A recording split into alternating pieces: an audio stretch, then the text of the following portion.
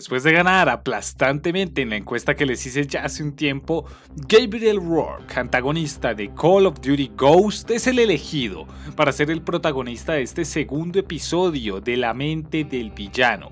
Así que no se te olvide estar pendiente de la pestaña de comunidad para poder votar quién será el próximo. Y sin más, comencemos.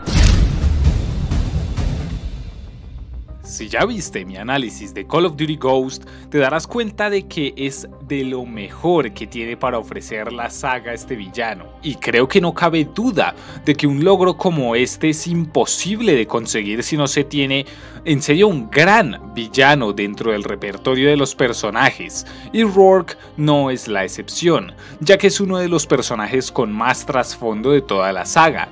Entonces, demos inicio al juicio. Como ya les expliqué en el primer episodio de esta serie con Jonathan Irons, este tipo de videos tienen un formato especial. Primero discutiremos los puntos V o puntos de villanía, los cuales le dan el título de villano al personaje y luego hablaremos de los puntos M, los puntos maquiavélicos, los que justifican su actuar. Y antes de nada sería muy bueno para los negocios que le des like, compartas el video y te suscribas si es primera vez que ves uno de mis videos. Y ahora sí, analicemos a este villano. El primer acto villanesco que le tenemos que atribuir al bueno de Rourke es sin duda cazar a los Ghost. Este es el punto que a lo largo de la campaña más nos afecta, y es que la incesante caza que Rourke llevó a cabo contra los Ghost llevó a la muerte de Elías y a la casi ejecución de nuestros protagonistas, además también de la muerte de Ajax y no sabemos cuántos otros soldados fueron cazados en medio de esta purga.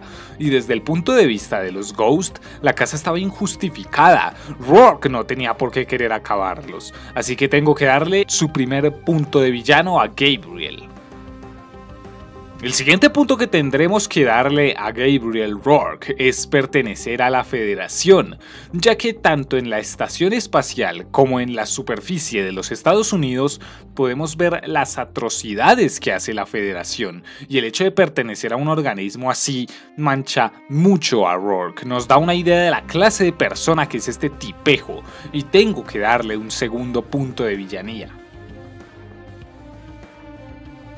Y sí, sé que es muy pronto, pero es que el bueno de Rourke no nos ha mostrado mucha más villanía propiamente dicho. Por el contrario, nos ha mostrado muchas más cosas buenas que malas.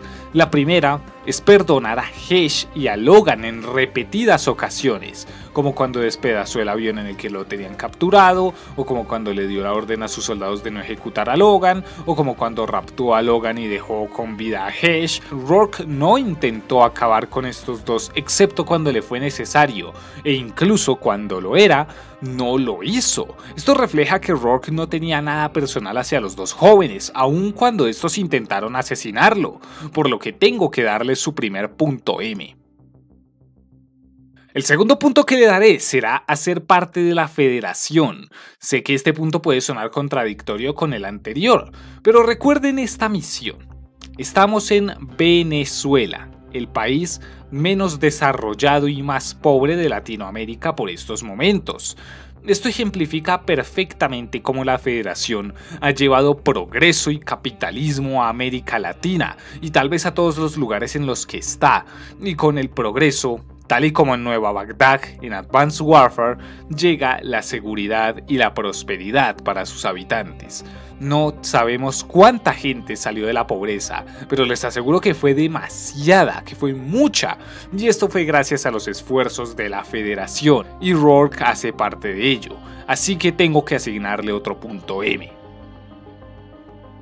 A los que hayan visto la primera parte de esta serie se darán cuenta de que Rourke y Irons comparten este punto en común, y es que en el universo de estos dos personajes, los Estados Unidos no son más que un estorbo. En Call of Duty Ghost es la última línea, es la última resistencia que queda contra la Federación, pero no es como que la Federación sea un gobierno orwelliano, despótico y tiránico, no no dudo que la gente viviera bien en la Federación. Mismo caso del universo de Advanced Warfare, donde Estados Unidos fueron los que quisieron acabar con Irons y sus mesiánicas labores de convertir el mundo en un lugar mejor.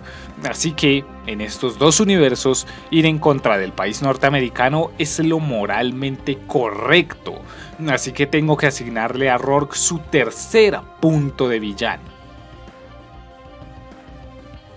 Como hemos visto a lo largo del video, el marcador final queda en dos puntos de villanía contra tres puntos maquiavélicos. Las acciones maquiavélicas superan a las villanescas, así que mi veredicto final es que no, Gabriel Rourke no es un villano.